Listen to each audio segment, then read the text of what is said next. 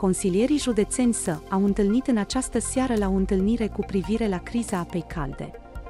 Președintele Consiliului Județean din Prahova, Iulian Dumitrescu, a anunțat că singura soluție pentru Benști care are apă caldă este pentru primărie, prin viol, să preia controlul asupra centrului producției centrale a operatorului căruia i a fost reziliat contractul ieri.